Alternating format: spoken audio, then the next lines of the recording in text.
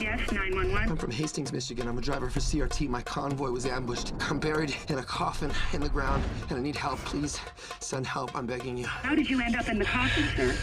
I was put here. You American? Yeah. Five million money to nine more you stay buried like dog. United States Farmers, eh? I'm an American citizen. My convoy was attacked, and I'm being held for ransom. I need $5 million, or I'll be left to die here. These threats are real and will be followed through on. I just have a few questions for you, Mr. Conroy. You gotta be kidding me. It's important that I get this information. It'll help Wait, me wait, hold on, hold on. him. Wait, wait, wait, wait. How do you know my name? What's going on right now? Listen to me, okay? These guys, they know where we live. They have my driver's license. Do not go back to the house. Nobody's gonna pay $5 million for me. Where there's little we can do from Washington. Your ransom video already has 47,000 hits on YouTube. Where is money?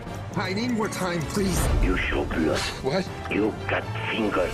What are you doing right now to help it? Let me out of here, and I promise you I will get you the money. No, no, no!